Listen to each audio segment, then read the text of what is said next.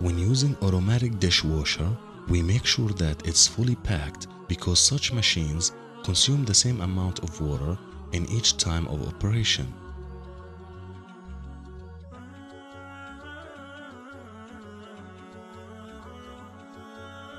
And in case of washing dishes by hand, we do not leave the tap open and the water running, as this causes the waste of large quantities of water.